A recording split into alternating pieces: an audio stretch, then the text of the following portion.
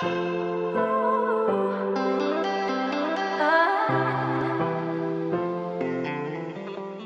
everyone, and welcome to Quick Tips for Guitar by Anthem Songs. I am Crawford, and today we're going to look at variations of the D chord and A chord.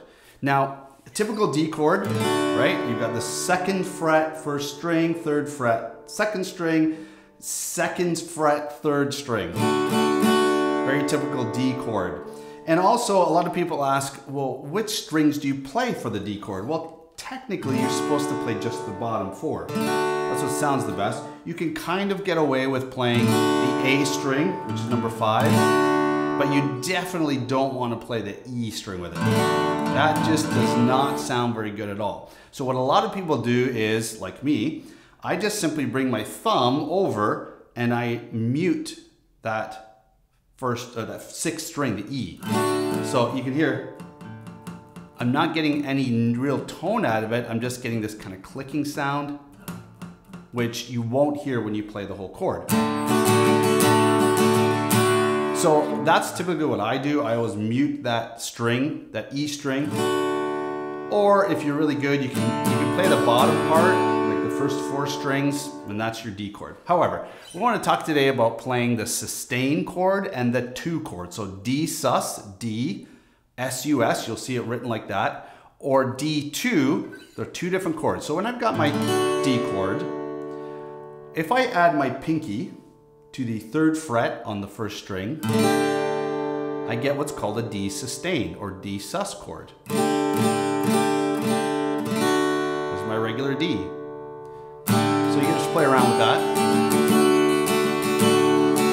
It's kind of a nice sound. If I take my middle finger off and I only have my first and ring fingers, that's called a D2.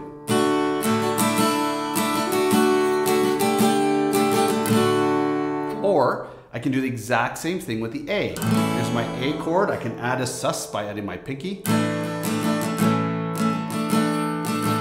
Or I could take my ring finger off. So I just got my two first and, and second fingers together It's an A2 chord. So it's... So let's put this together in a song. How would I put this together? Well, let's take the song Lead Me to Calvary. It's one of the great classic hymns. King of my life, around me now. Right, great song. But if you'll notice that when I play the D chord,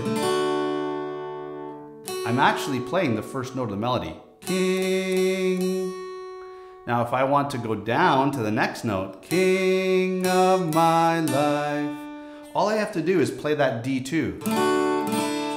King of my life. I... Now, here's the little trick. You can go to the G chord, which it's written with the G next, crown me now, or you can just do a sustain. Now it's not gonna give you the full sound, but it does, if you're playing with other instruments, give kind of a cool sound. So it's King of my life, I me now. So play around with the D, D2, and D sus chords.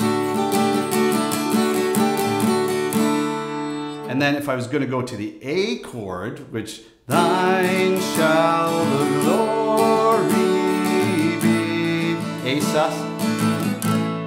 A, regular A. That's kind of a really cool way to go to it.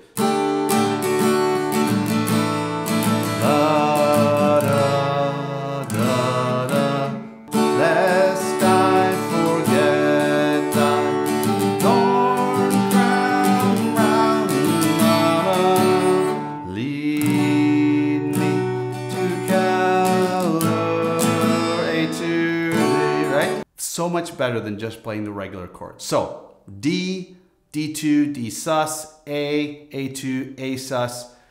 Practice them and you'll, you'll make things sound so much better. So that's another quick tip. Hope to hear from you soon. Leave comments, send us an email, team at anthemsongs.com, and we'll see you next time.